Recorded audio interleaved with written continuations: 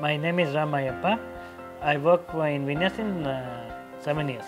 Morning, I'll, I'll come here by I live by uh, Iris by 8:50. I keep my bag. Then I go keep the papers to Sir Naren sir's cabin. Then I'll go there. I'll sit on the computer. Then then after that I'll go. I will go to the temple, do prayer, then come back and start my usual work. I attend 300 calls per day. If the front office starts becoming very honest or he cannot comprehend a lie, what happens is back office has to fall in place. His communication skills were extremely good. Okay, I didn't realize he was intellectually challenged until I spent about an hour with him in one of the birthday parties. That's where I selected him immediately. I said, "Is he looking for a job? I have a job opening as a front office person." Interacting with him gave me one very clear picture that if these kids are given regular opportunity, they will do very well. If you don't give them regular opportunity, you put them in an environment which is completely disabled, they will be encountering same disabled people and they will not have a chance for improvement. Let us hear from Sandhya, an employee with intellectual disability. Hi, what is your name? Sandhya, Sandhya, where do you work? Vinyas Innovative Technology Limited. And how long have you been working here? 10 years.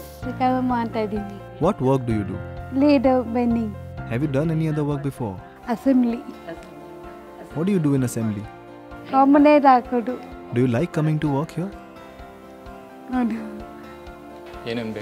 We used to make them practice whatever the production department needed for an hour a day in the beginning. Then we extended it to 2 hours, then 3 hours, then half a day. Then after one and a half to two months, they started to come for a full working day. The working environment They also did not know what a working environment was. The fact that there are going to be many people at the workplace. We had to teach them punctuality, coming on time, discipline to come and work, to follow the rules and regulations. There is wristband here at work. We made them practice wearing that, practice attendance procedures. And that's how we started the whole process. ಹೇಳ್ಕೊಂಡು ಬಂದು ಪ್ರೋಸೆಸ್ನ ಹಾಗೆ start ಮಾಡಬೇಕಾಗುತ್ತೆ See, earlier we have used the ribbons in their aprons. Green for the uh, hearing impaired and for intellectually challenged. Sometime if any, any emergency happens, they may not be in a position to know which side they go. The other person who sees the green ribbon on their apron, they will be in a position to guide them properly. That was the first thing we did. Okay, made sure that there is somebody, who- everybody had a buddy within the organization who would escort them out. okay, in times of emergency and they were told what they should do and stuff like that.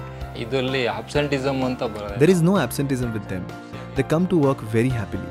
They take holidays very rarely, only a few times when they are not feeling well. They come to the company with such enthusiasm of wanting to work every day. The culture of integration has to start from the top. We were about 40 people. One fourth of our workforce was intellectually challenged and disabled per se. We saw the success of uh, this and we said every year we are going to hire one uh, mentally challenged. So from then on we have been hiring one intellectually challenged every year